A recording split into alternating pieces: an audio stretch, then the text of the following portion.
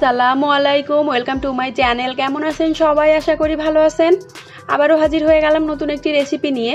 আজকে আমি আপনাদেরকে লাউ দিয়ে শুটকি বড়ির তরকারি তৈরি করে দেখাবো।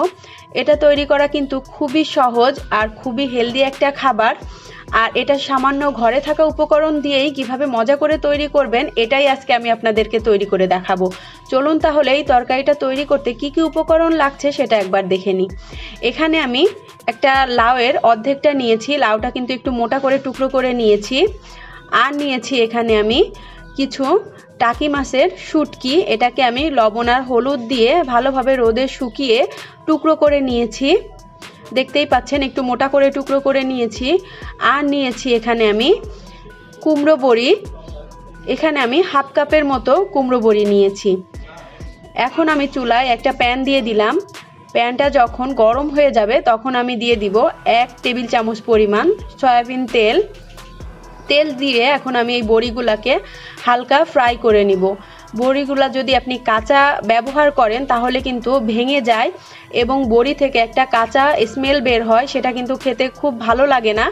তাই হালকা তেল দিয়ে এভাবে ফ্রাই করে নিলে খেতে কিন্তু অনেক বেশি ভালো লাগে। এভাবে হালকা গোল্ডেন ব্রাউন করে আমি এটাকে ভেজে নিব। দেখতেই পাচ্ছেন, আমার কালারটা কিন্তু হয়ে গিয়েছে। এখন আমি একে একে বড়িগুলাকে উঠিয়ে নিব। বড়িগুলাকে উঠিয়ে নিয়ে আমি এই প্যানের মধ্যেই ওয়ান ফোর্থ কাপ পরিমাণ রান্নার তেল দিয়ে দিলাম। তেলটা গরম হয়ে গেলে এখানে দিয়ে দিব ওয়ান ফোর্থ কাপ পরিমাণ পেঁয়াজ কুচি। পেঁয়াজ কুচিটাকে আমি দুই মিনিটের মতো ভেজে নিব। খুব বেশিক্ষণ ভাজার দরকার নেই। কালারটা চেঞ্জ করানোর দরকার নেই। জাস্ট হালকা একটু ভেজে নিলেই হয়ে যাবে। এই পর্যায়ে দিয়ে দিব আমি স্বাদ অনুযায়ী কাঁচামরিচের কুচি। আমি কিন্তু এখানে কোনো শুকনা মরিচের গুঁড়া ব্যবহার করব না, কাঁচামরিচ দিয়েই রান্না করব। সেজন্য আমি আমার স্বাদ অনুযায়ী কাঁচামরিচের কুচি দিয়েছি। আপনারা যদি শুকনা মরিচ ব্যবহার করেন, সেই পর্যায়ে কাঁচামরিচ কিন্তু একটু কম দিবেন।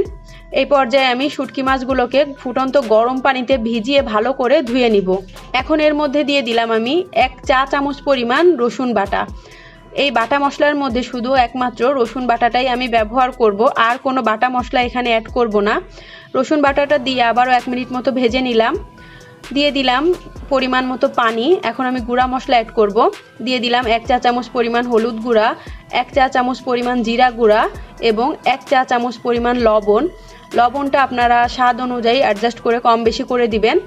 এখন এটাকে আমি খুব ভালোভাবে কষিয়ে নিব। মশলাটা খুব ভালোভাবে একটু সময় নিয়ে কষানোর ট্রাই করবেন, তাহলে কিন্তু তরকারিটা খেতে অনেক বেশি মজা লাগে। দেখতেই পাচ্ছেন, আমি কিন্তু পাঁচ মিনিটের মতো সময় নিয়ে মশলাটা কষিয়ে নিয়েছি। আমার মশলাটা কষানো হয়ে গিয়েছে। এই পর্যায়ে এখন দিয়ে দিব আমি শুটকি মাছ। এটাকে আমি খুব ভালোভাবে ঠান্ডা পানি দিয়েও অনেকবার করে ধুয়ে নিয়েছি। এখন এটাকে নেড়ে চেড়ে আমি ঢাকা দিয়ে রেখে দিব পাঁচ মিনিটের জন্য। পাঁচ মিনিট পর যখন মাছটা কষানো হয়ে যাবে, তখন আমি এটাকে নেড়ে চেড়ে ভালোভাবে আরও একটু কষিয়ে নিব। খুব ভালোভাবে মাছটাকে কষাতে হবে। এখন এই পর্যায়ে আমি দিয়ে দিব দুই কাপ পরিমাণ পানি। এখানে আমি নর্মাল পানিটাই ব্যবহার করেছি।